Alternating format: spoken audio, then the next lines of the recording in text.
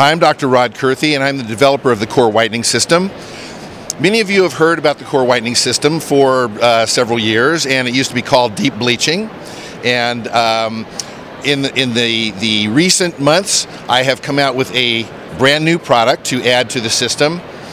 One of the problems that we've seen in, in the chemistry of whitening before is that every time you try and introduce a good property to a bleaching product, you also introduce a negative. And that drove me crazy for many, many years. Well, I finally figured it out.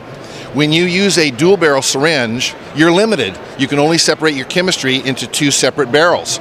And there are just many things that you cannot mix ahead of time that can only be mixed at the time of use.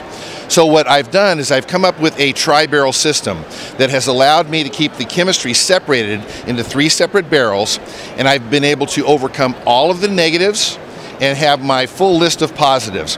We're the only uh, company in the world that has been able to do that, and it has enabled us to shorten the actual procedure time. There, there are fewer visits involved, so there's less gel, so the cost has gone down. So now we're able to get our type of results that I'm sure many of you have heard about at the same cost and the same time involvement as using any of the other systems out there on the market. So give it a try. I'm sure you will be blown away.